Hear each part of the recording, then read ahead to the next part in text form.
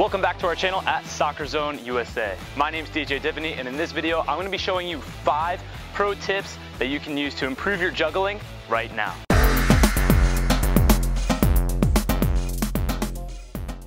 Juggling the ball or doing kick-ups is a great way to improve your ball control and master your touch. The best thing about mastering your ball control this way is that you only need a ball. I don't need a bunch of fancy equipment. I don't need a ton of space. I just need this ball, some patience and determination to improve my skills. Now in this video, we'll be teaching you how to master the ball like a pro, but not only do we want to master the ball like a pro, we want to look like a pro too. So let's check out the fit for today. So the most important thing, we have a ball. This is the Nike USA flight ball. And to keep our pro look going, we're wearing the New York Red Bulls 2021-2022 home kit. This is the authentic jersey with the New York Red Bulls on the back. Of course, to have a great touch, we need some great cleats. So we have the Nike Phantom Vision. These are the original versions in maroon. If you're looking for any particular boots like these, classic shoes, discontinued shoes, hit us up at contact at soccerzoneusa.com and let us know what you're looking for. We might be able to help you. We have a few of these left in stock in the back, even though we don't sell them on our site or at the store anymore. All right guys, that's our fit for today. If you want any of these items or other soccer gear, head to the link in our description. Go to soccerzoneusa.com to get the best deals, the best sales, the best soccer gear for your game. Before we break down these five pro tips, we're going to go over the key steps to juggling in the first place, the simple steps, the steps that you've seen and heard before, just so that you remember them and get familiar with the exact technique. All right, let's get into it. We're gonna go over five simple steps to do feet juggling, thigh juggling, headers, and even shoulder juggles. Let's start with the feet. Step one for feet juggling, I'm gonna have my ankle locked in a neutral position. That means that my toes are gonna be flexed slightly up and my foot is gonna be locked and stiff so that if the ball hits my foot, it doesn't flap down or wobble side to side. Step two, let the ball drop. We wanna try our best to let the ball come down almost all the way to the floor, right in front of our body before we make contact with the ball. We don't wanna hit the ball up here, at waist height, or even at knee height, because that means we'll have to bring our foot really high up in the air to do that. We're gonna be awkward with that technique, we're gonna be off balance, and my touch just isn't gonna be as good. Step three, make contact with the bottom of the ball using the laces of the foot near the toes.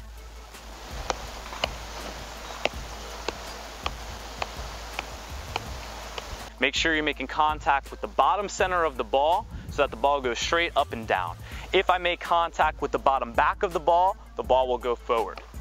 If I make contact with the bottom front of the ball, the ball will come towards me too much either direction there is gonna be harder to get the next touch in, so we wanna hit the bottom center of the ball. If we hit the bottom sides of the ball, guess what'll happen? That's right, it'll go off to the sides, and then it's gonna be hard to get that next touch again. Step four, kick with your foot from the knee down.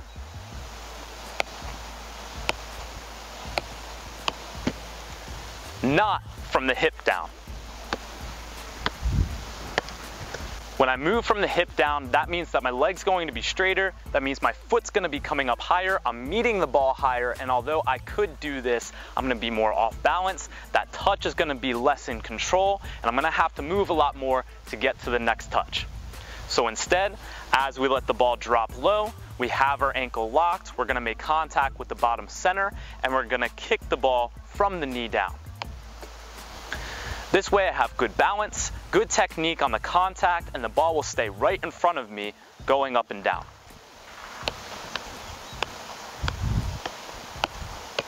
Our final basic step, step five, adjust. Just because we're trying to use the right technique doesn't mean the ball is always gonna come out in the exact place that we want to. Sometimes the ball may go a little bit to the right, sometimes a little bit forward, sometimes a little bit towards us, sometimes a little bit towards the left, and so on. So make sure that you're ready to react and adjust to where that ball moves. As you get better at adjusting, predicting the ball movement, and controlling the ball over time, it'll be a lot easier for you to keep the ball in one place and not have to move as much, while at the same time, if you do want to move the ball, you can do that on purpose, or if the ball goes on its own, you'll have good practice to move and keep it in control. With that being said, keep in mind that we don't need to be able to juggle at all to play professional soccer. At the same time, you'll see any pro on the field sidelines warming up and they can juggle a ball as many times as they like. They have total mastery of the ball. So the idea is we want to master the ball. Juggling is going to help us do that. It's going to help refine our touch and become really comfortable with our ball control. However, it is not critical to playing the game of soccer. You do not need to be able to do 10,000 juggles in order to be a pro soccer player. You don't even need to be able to do a thousand or even a hundred. You just need to be able to control the ball. I need to be able to receive the ball. I need to be able to pass the ball. I need to be able to dribble the ball. I need to be able to shoot the ball to help my team win games. If you stay focused and use those five main steps for juggling, you will improve over time whether you're just starting out and are brand new or you've already been juggling for a little bit. Those five steps will help you improve your juggling, which will help you improve your ball control overall. Let's move up to thigh juggling. Now the steps are exactly the same. The only thing that changes is the height of the ball and our body part. So on this, we're gonna have our thigh waist high. So instead of locking our ankle, we have our thigh waist high. Step two, start by tossing the ball up to give yourself time and let it come down to waist height. For step three, we're timing that ball movement so as it gets to waist height, our thigh is waist high, so the ball meets our thigh. We wanna make contact with the bottom of the ball, just like in feet juggling, but we're using the middle of our thigh. I do not wanna use my knee, I do not wanna use my hip, I want it to be right in the middle of my thigh.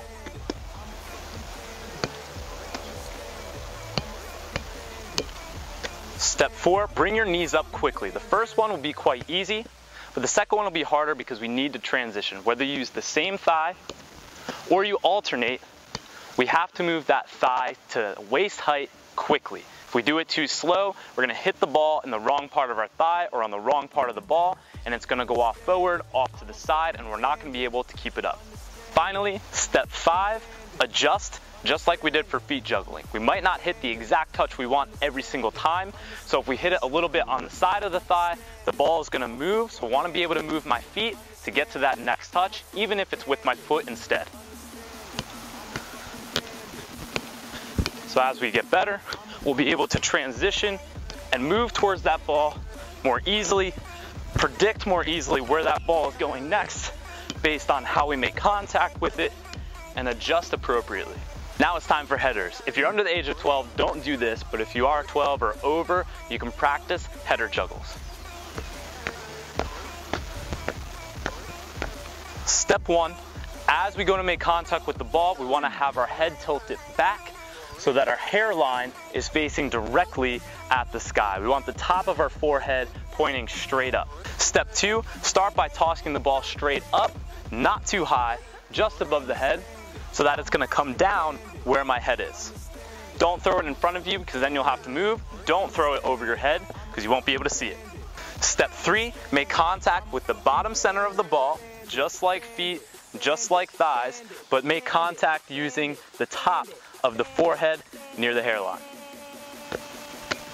Step four, move from the knees to provide some momentum going into the ball.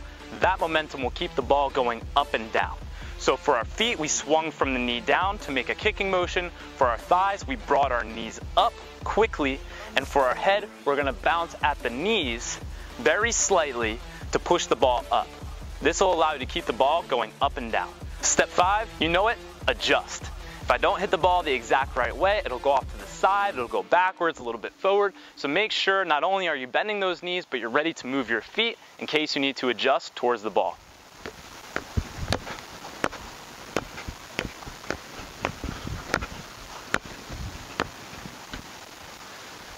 Just like the other techniques, you'll get better over time and you'll be able to keep the ball in one place.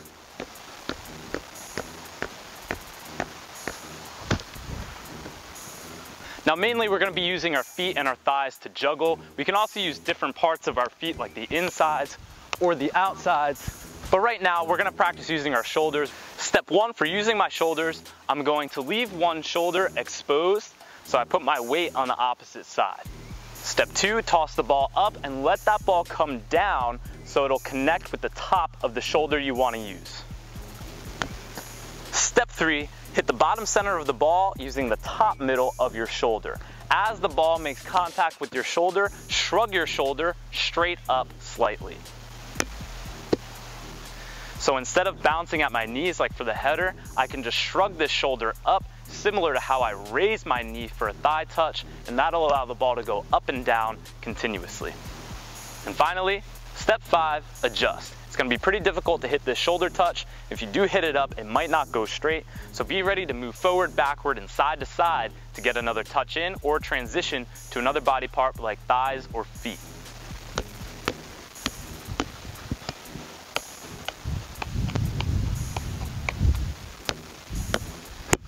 There you have it for feet juggles, thigh juggles, headers, and shoulder juggles. And like I mentioned, you can use other parts of the body like your heel, you could use your back, anything you want to try to keep the ball up, have fun, and be creative, working on mastering that ball. We wouldn't really use these skills or these techniques specifically in the game to keep the ball up in the air, but is a fantastic way to practice mastering the ball on your own. Now it's time for five pro tips to help you improve your juggling even more.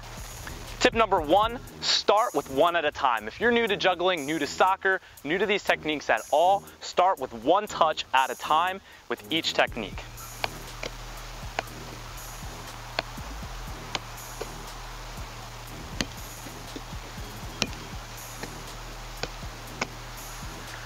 As you practice with one touch at a time, practice catching it after to demonstrate that you did it with some control. If I have a really bad touch, I'm not able to catch it, that probably means that the touch wasn't very good, so I need to keep working on that one touch. What I like to do is hold the ball at my waist, get ready to strike the ball with my strong foot. I drop the ball until it's close to the floor, my ankle is locked, I make contact with the bottom of the ball, and I kick from the knee down, hard enough for the ball to go back to my hands. If you can do this and kick it up with the proper part of the foot, with your ankle locked, waiting for the ball to come down low and swinging from the knee down, you're probably gonna have a good touch, especially if you caught it back in your hands. For practice, if you're new, pro tip one, start with one at a time, practice 10 times on each side. Make sure you get 10 quality touches before you switch. Then move on to a different body part like the thighs, and only count the ones that you think were pretty good. If it goes like this, maybe don't count that one so you get more practice on doing the proper technique. Pro tip two, use bounces, especially for feet juggling. Use bounces in between once you've mastered doing one or two touches at a time.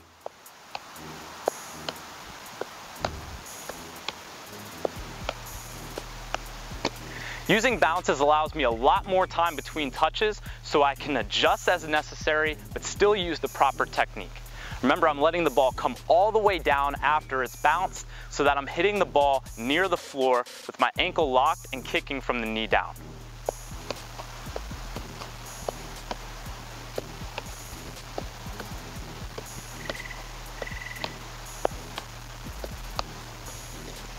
Using bounces will be harder to do from your thighs, but it's a good way to transition to feet juggling if you lose control of thigh juggles.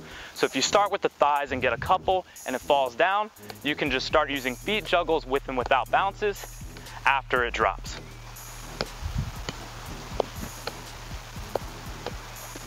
Pro tip three, record yourself doing the techniques and then compare them to pro players on YouTube or in videos that you've seen before.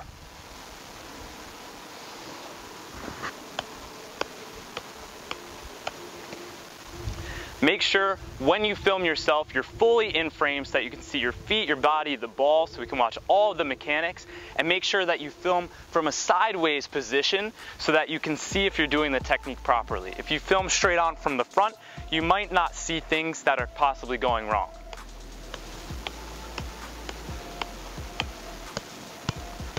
Pro tip four, Learn tricks and skills from tutorials online from friends or coaches. One thing that helped me improve my juggling tremendously was when I started working on different tricks and advanced movements that took my mind off the juggling itself and had me focusing on something that I was setting a goal towards to work on.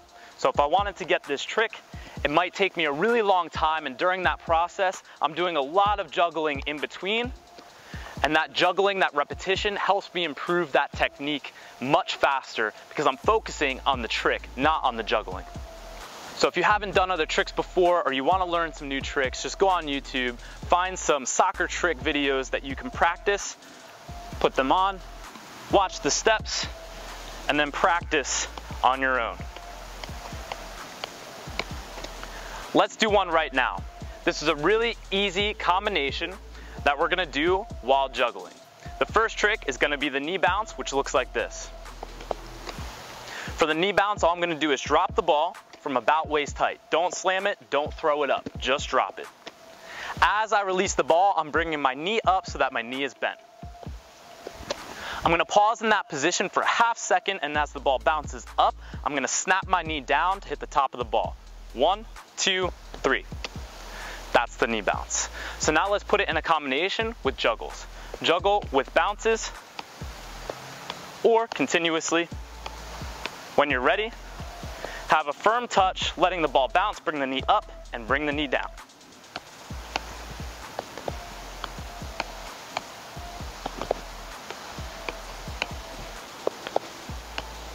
Now let's combine it with one more move, the knee catch. Do the knee catch, you're just gonna drop the ball, same as before. Step two, you're gonna step towards the ball so it makes contact with the inside of the weak knee. One, two. As it's making contact with that knee, you're gonna grab it with the opposite leg. Don't jump, don't bend your knees together, just drop, step, and grab. If you get this a few times from a dropping step, move on to juggling with or without bounces, have your last touch be a firm touch, let it bounce, step towards the ball, and then grab it with the opposite leg. One, one, two, three. One, two, three. From this position to continue our juggle, let's drop it down to our feet, stand on one leg. We're gonna release the ball and catch it between our ankles using our strong foot. Let's combine all of these together. Start by juggling, Throw bounces in when needed. Hit a knee bounce. Continue juggling. Have a firm touch. Do the knee catch, feet catch, and toss it back up to continue your juggle. If you're good at juggling, you can do this without bounces.